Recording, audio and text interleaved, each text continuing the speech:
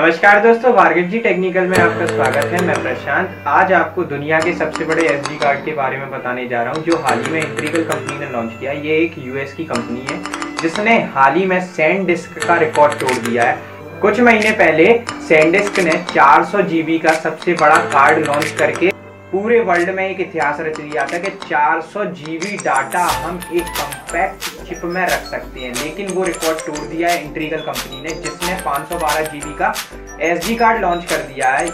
और इसमें आपको पाँच साल की वारंटी मिलती है। और इसकी जो read speed maximum read speed है, वो 80 एम है और जो राइट स्पीड है, वो 10 एम है। और इसकी जो कीमत आती है, वो भारतीय रुपए यानी इंडियन रुपीस के अनुसार सोलह हज़ार पचास रुपए और यूएस डॉलर में 250 यूएस डॉलर है। अब आप सोचिए कि एक स्मार्टफ़ोन के बराबर का हमारा एक एसडी कार्ड हो सकता है। ये